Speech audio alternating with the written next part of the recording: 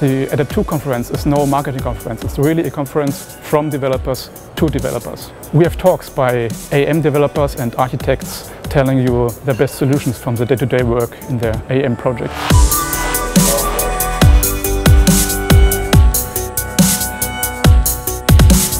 I like the networking with uh, people uh, also from the same field and uh, the knowledge sharing.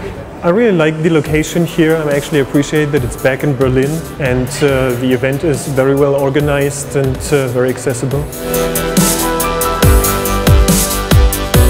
2019 is my fifth time here at adaptTo. Um, I always find it interesting to get to network with all the other developers using Apache Sling. It's a great environment for experimenting um, and it's, it's always a pleasure to be here. Um, the adaptTo is the only conference which focuses purely on all the things I'm basically interested in as an AEM developer. So I started to work with AEM last year, January of 2018, and uh, it makes sense to, to come to the conference that portrays AEM and, and, and Sling.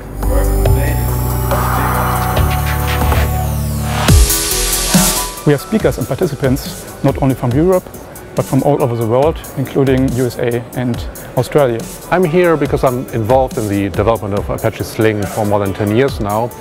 And it's a very good place to meet users, get feedback. The biggest value is getting inspiration from others, you know, presenting what they do, how they use Sling in their different contexts.